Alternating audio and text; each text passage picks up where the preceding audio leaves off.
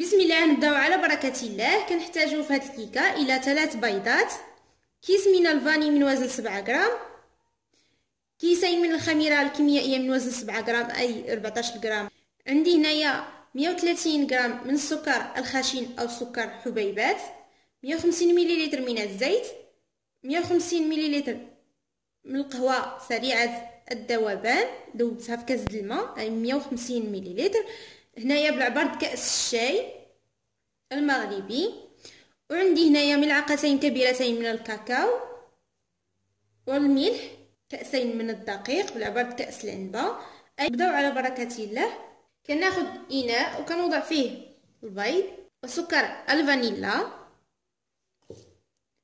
ثم سكر الخشن. وغادي نخفق الكل جيدا. أنا غادي نضيف القليل من الملح رشة فقط وغادي نخفق جيدا. أنا هنايا بعد ما خفقت البيض جيدا مع السكر غادي نضيف تدريجيا الزيت وأنا كنخفق.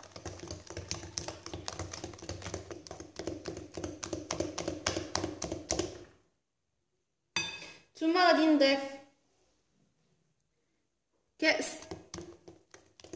القهوة.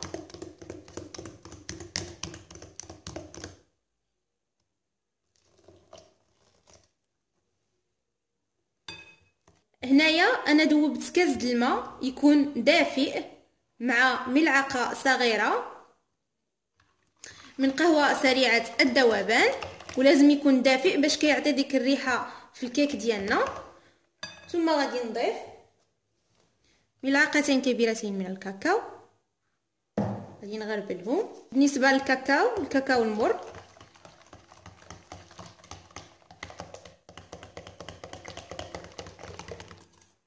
وغادي نخلط جيدا. ثم غادي نضيف الدقيق.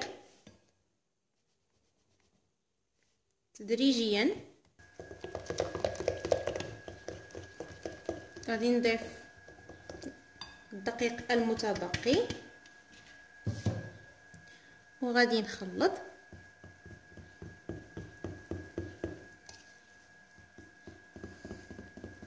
ريحتها كتجي رائعة.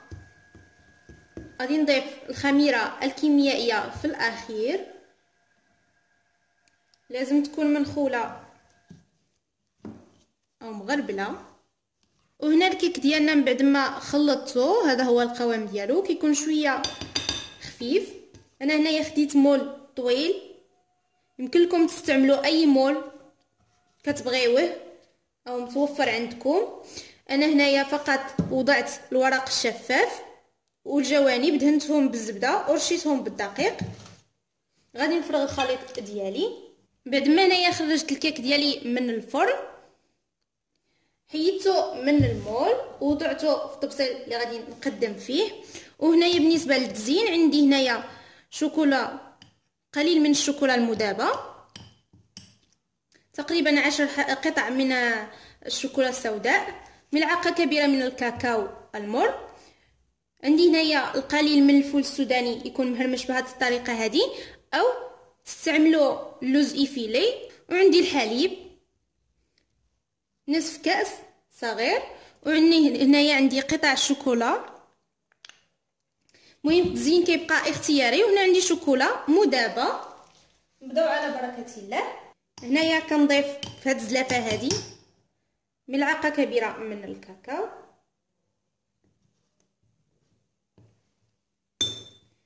وهنايا غادي نضيف القليل من الحليب باش كيتسلق ليا غادي نضيف تدريجيا ما غاديش نضيفو كامل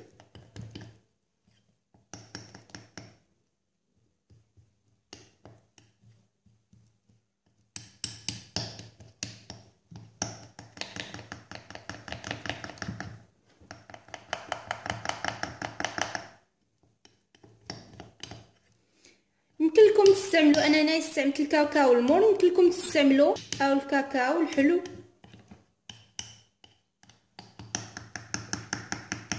أنا هنايا بعد ما خلطت الخليط الشوكولا ديالي بهذه الطريقة هذه هذا هو القوام ديالو. بالنسبة للحليب ربع كأس. غادي نفرغ الخليط ديالي فوق هذا الكيك. حاولوا تقادوا الجوانب. وهنايا بعد ما فرغت الخليط ديالي الشوكولا في الكيك. فأنا غادي نزينها في الجوانب بالفول السوداني بهذه الطريقة هذه. كما لاحظتوا أنا كنزينها فقط في الجوانب. وكما سبق لي قلت لكم التزيين كيبقى اختياري. هنايا غادي نوضع هاد القطع الشوكولا. ندير حبة سوداء وحبة. وكانت هذه وصفتنا ديال اليوم كيكة بالقهوة والشوكولا. كتجي رائعة. كنتمنى أنها تنال إعجابكم. وتجربوها. والتزيين كيبقى اختياري. أنا هنا فقط زينتها بالشوكولا البيضاء. خطوط بهذه الطريقة هذه. غادي نقطع نوريكم الشكل ديالها من الداخل. كتجي رائعة. وكانت هذه وصفتنا ديال اليوم.